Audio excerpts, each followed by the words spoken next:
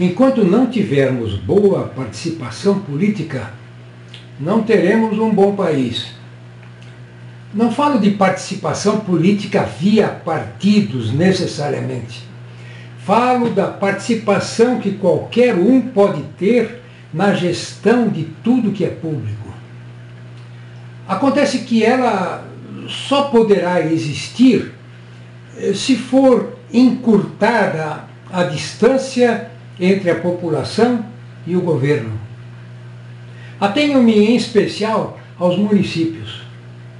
Algum morador poderá aferir os gastos da prefeitura ou da Câmara de sua cidade pela simples leitura de demonstrativos financeiros publicados?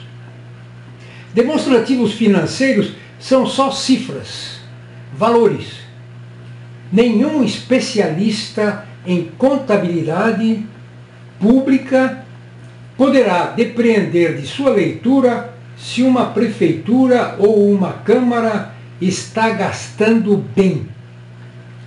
Para a aferição da propriedade dos gastos públicos, a população precisa de uma alternativa de comunicação aos demonstrativos financeiros comumente publicados. Essa matéria terá prosseguimento.